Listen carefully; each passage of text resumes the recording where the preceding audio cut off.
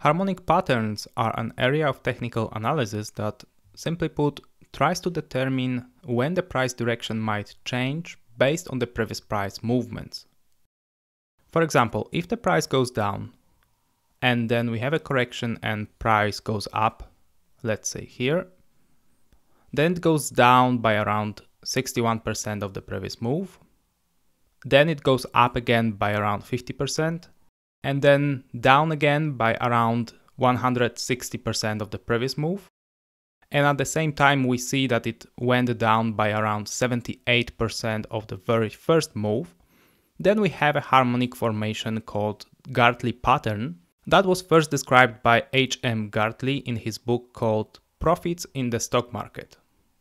Although in that book, Mr. Gartley didn't actually define specific retracement levels. But what he discovered is that when the price moves like that, we have a higher than usual chance that the price will change direction again. And as you can see, it did change direction. The Gartley pattern is just one of many harmonic patterns classified and described mainly by Scott Carney, and they all use different retracement levels. That is, different percentage relation between each move. But what they all share in common is that when a harmonic pattern appears on a chart, there is a chance that the price will change direction. So harmonic patterns can be a great tool to supplement your technical analysis. But how do you spot them? Well, one way is to manually connect the high and low points on the chart. Most stock analysis software or websites have a tool to draw a harmonic pattern, and they will even calculate the ratios so you can immediately see if what you have drawn is one of the existing patterns. But even with those tools, you still have to manually look at what you drawn and try to match it to expected ratios of each of the pattern.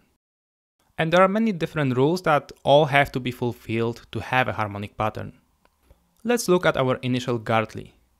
This XAB retracement has to be around 0.61. The ABC has to be one of the Fibonacci retracement levels between 0.38 and 88.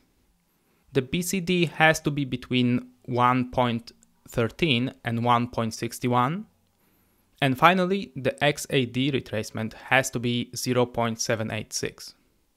And that takes time if you want to scan multiple stocks. That's why we created some scripts for TradingView platform that can make your life easier.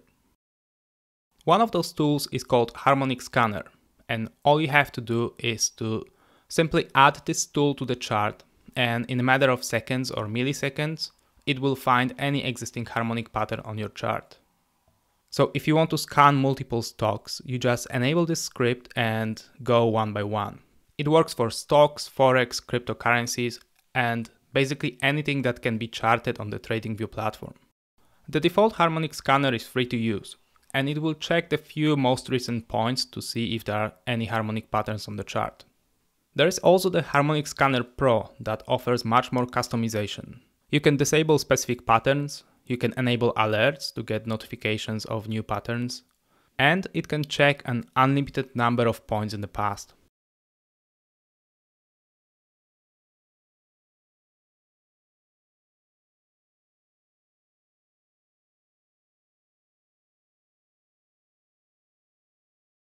And the coolest indicator is the harmonic predictor that, as the name suggests, tries to predict when a harmonic pattern might appear in the future.